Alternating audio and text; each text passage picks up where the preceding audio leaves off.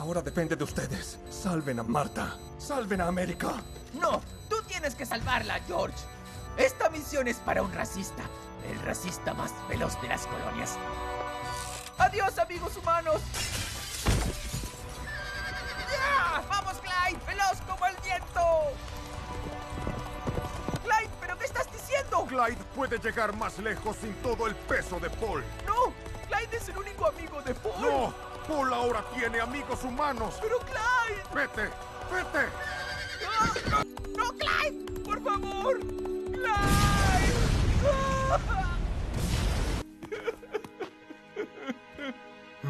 Se va a recuperar. Has sacrificado a Clyde para salvarnos. Clyde se sacrificó solo. Amo a mis nuevos amigos humanos, pero a Clyde también lo amo. Él era mi hermano.